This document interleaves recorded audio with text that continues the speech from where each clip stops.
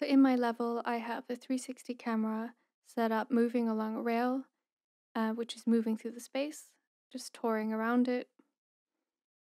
You can check out our previous tutorial on how to do that.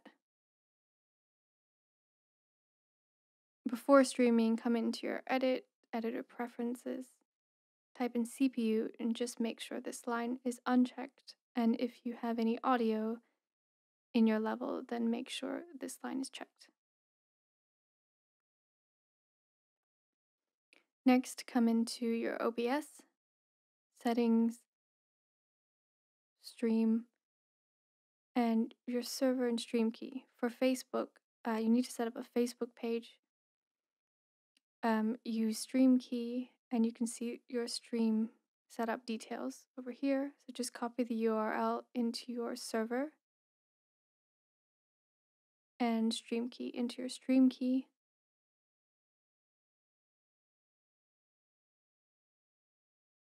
Apply, go to your output, advanced settings, and make sure these match your recommended settings.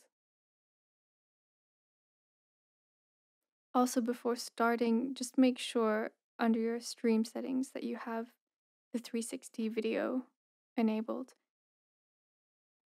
Also, you can select in here whether you have equirectangular or cube map as an output.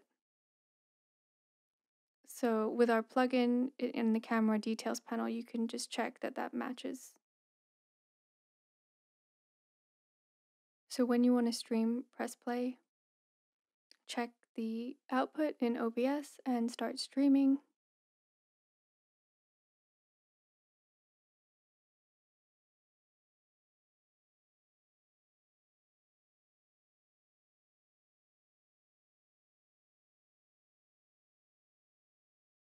And there you go. You have your 360 stream coming into Facebook.